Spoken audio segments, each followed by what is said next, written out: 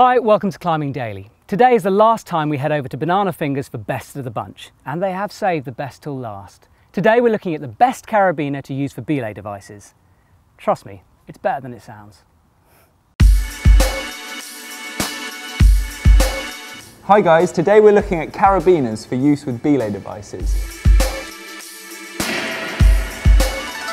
Not every carabiner is suitable for use with a belay device, but even after basic requirements like size and locking mechanism have been met, there are still numerous carabiners to choose from. In the following section, we intend to round up the best of the bunch, covering most major requirements and also selecting our personal favourite. First up is the basic workhorse carabiner that is simple but effective, the Clog Super HMS.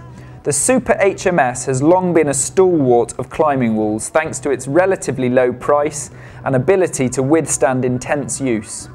A standard screwgate HMS, the Super HMS is the very definition of no frills. It's perfectly capable of doing the job and does so without any additional bells and whistles. If all you're looking for is a solid screwgate at a reasonable price, then this is the carabiner for you.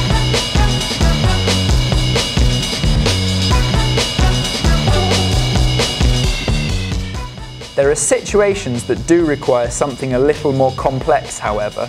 For those concerned about cross-loading or the potential to leave the gate of the carabiner open, no design allays these concerns better than the Black Diamond Magnetron Gridlock. The Magnetron Gridlock is shaped to trap the belay loop of your harness and so prevent cross-loading. A simple solution to an age-old problem. The gate design, however, is anything but simple. It utilises a pair of magnetic arms which pull a steel insert into place as the gate shuts, locking the carabiner. In order to release the gate, both arms must be depressed simultaneously and the gate pushed open.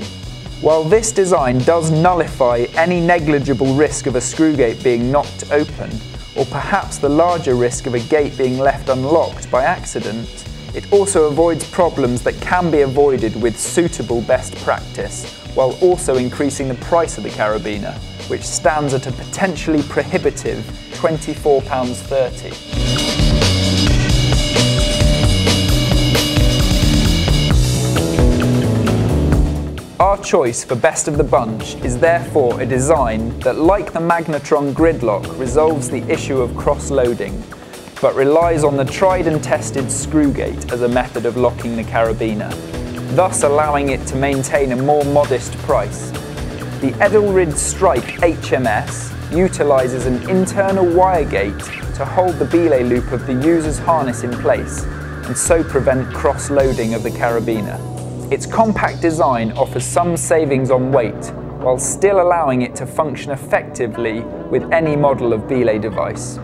A perfect balance of reliable traditional design and Edelrid innovation make this our clear pick for best of the bunch.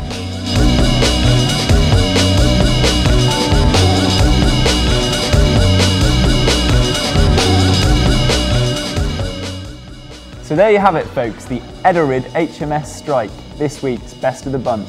If you want to find out more information about this or any other carabiner, head on over to bananafingers.co.uk. That's it for us here at Best of the Bunch, but check back soon for more gear geekiness. In the meantime, enjoy your climbing. Thanks, Kalian. Remember, if you want to watch past episodes of Best of the Bunch, just go onto the Epic TV website and search Best of the Bunch. Finally, to celebrate the IFSC League Championship stopping in Perth this weekend, we are offering 10% off all harnesses in the Epic TV shop. It's a great deal, so get online. See you tomorrow.